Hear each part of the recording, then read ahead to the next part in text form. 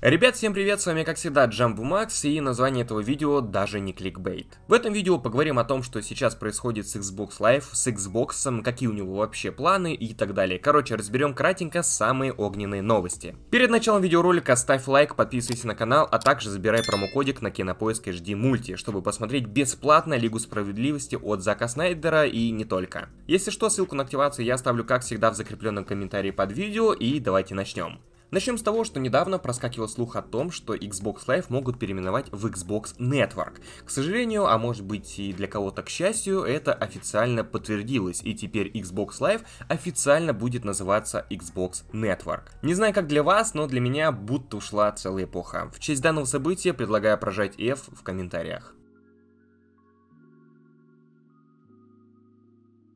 Опять же, не знаю как вам, но данное название пока ощущается каким-то большим Xbox Network. Непривычно ибо так называется служба плойки, да и на этом фоне теперь Xbox Live Gold э, вообще не звучит. И кажется, что он тоже будет как-то переименован по типу просто Xbox Gold, ибо Live по сути уже ушел. Ладно, не будем грустить и давайте лучше разберем, что это значило бы. Вообще, майки дали довольно емкое пояснение, которое гласит, что вроде как ничего не изменится, кроме названия. И сделано это было, внимание, ради того, чтобы разделять базовую услугу от членства Xbox Live Gold. Если более простым языком, чтобы можно было отличить Xbox Live от Xbox Live Gold, хотя кто за 10 лет это и не сумел отличить. Если кто-то не знал, а может быть просто не в теме, то Xbox Live это сервис, служба Xbox, так скажем общая сетевая система. А Xbox Live Gold это подписка, которая расширяет функции общей системы и в данный момент, которая дает бесплатные игры один раз в месяц, скидки и онлайн для платных игр. Несмотря на то, что обоснование такое простое, на мой взгляд, в этих всех изменениях кроется что что-то более глобальное. Предположить, конечно, сложно,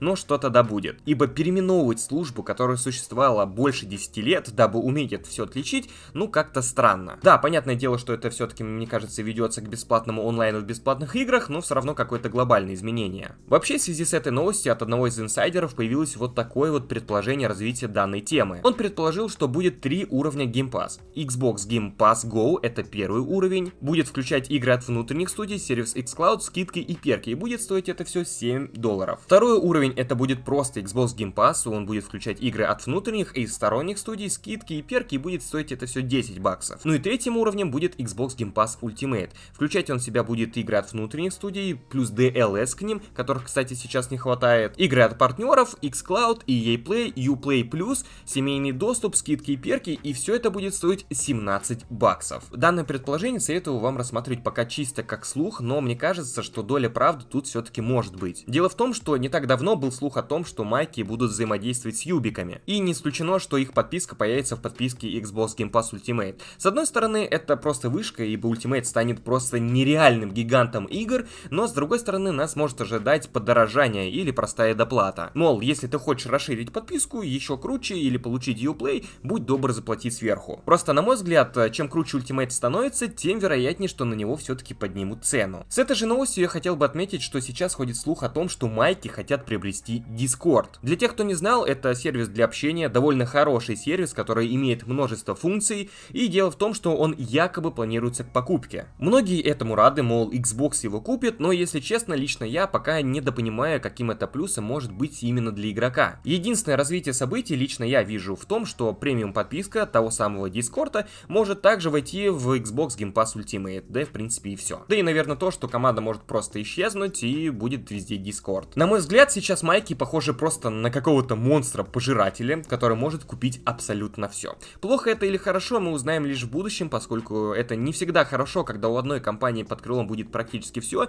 ибо такими темпами в дальнейшем мы можем получить просто одного игрока на рынке. И это, как вы знаете, не особо хорошо, ибо конкуренция это как раз-таки двигатель прогресса. В общем, обязательно пишите свое мнение на этот счет, надеюсь видос был интересным, он вам понравился, и если это действительно так, то ставь лайк, подписывайся на канал и большое спасибо за просмотр. До новых встреч!